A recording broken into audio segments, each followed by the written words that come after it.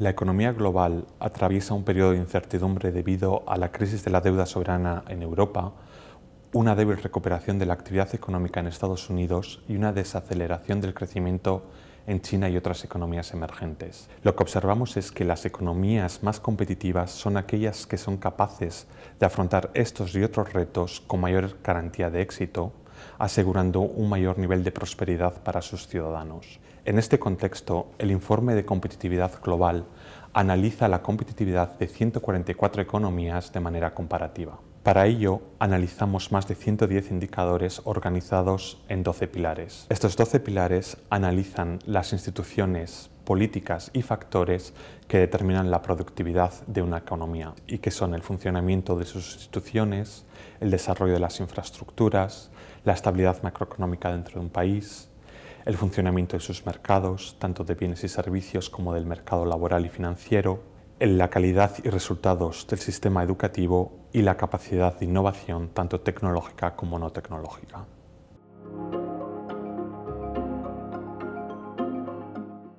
Son muchos los resultados que se desprenden del informe este año, pero a nivel general me gustaría destacar cuatro. En primer lugar, Suiza, por cuarto año consecutivo, encabeza nuestro ranking como la economía más competitiva del mundo, seguida por Singapur, Finlandia y Suecia, estos cuatro países exhiben fortalezas competitivas en todos y cada uno de los pilares que analizamos. En segundo lugar, la caída de Estados Unidos de dos puestos hasta la posición número 7 y todo ello a pesar de su enorme capacidad de innovación. Sin embargo, los desequilibrios macroeconómicos que persisten en la economía, unido a una cierta desconfianza de la comunidad empresarial en que los políticos puedan adoptar las medidas necesarias que la economía necesita, han lastrado este resultado. En tercer lugar, la brecha competitiva en Europa y más concretamente en la eurozona persiste y se ha incrementado desde el comienzo de la crisis en el 2008. Por un lado, tenemos países como Finlandia, Holanda y Alemania que han afianzado su potencial competitivo. Por otro lado, tenemos países en el sur de Europa como Portugal, España, Italia y especialmente Grecia que adolecen de importantes debilidades competitivas en términos de su estabilidad macroeconómica, acceso a la financiación, rigideces en el mercado laboral y un déficit de innovación. En cuarto y último lugar, una referencia a los BRICS. Si analizamos la evolución de la competitividad de estos países, vemos que han seguido trayectorias divergentes. Por un lado, tenemos China y Brasil, que claramente han mejorado su competitividad en los últimos años, mientras que India, Rusia y Sudáfrica se han estancado.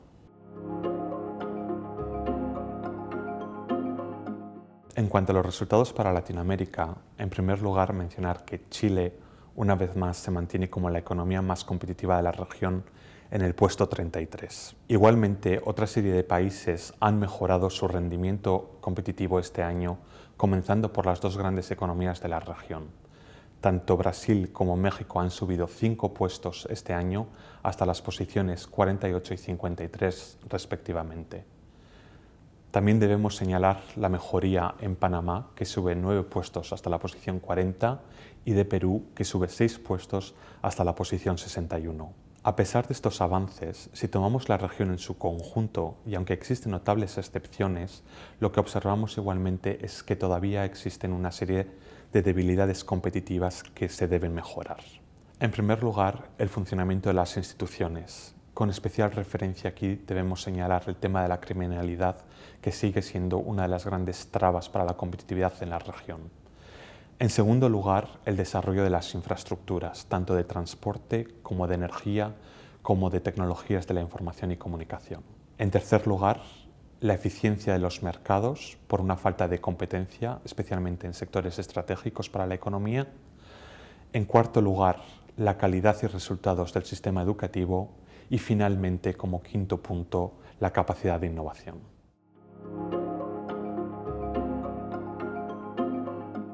Durante más de 30 años, el Foro Económico Mundial ha estado a la vanguardia de los últimos avances en el análisis y medición de la competitividad y es por ello que periódicamente introducimos los nuevos avances que se producen en este campo en nuestro análisis. Durante los dos últimos años y con el apoyo de un grupo de expertos internacionales, hemos estado trabajando en el desarrollo y medición de un nuevo concepto, la competitividad sostenible, El objetivo de esta nueva línea de trabajo es la de integrar de manera más completa el concepto de sostenibilidad tanto medioambiental como social en nuestro trabajo de competitividad. El informe este año recoge los avances que hemos realizado en esta materia que será el objeto de nuestro futuro trabajo.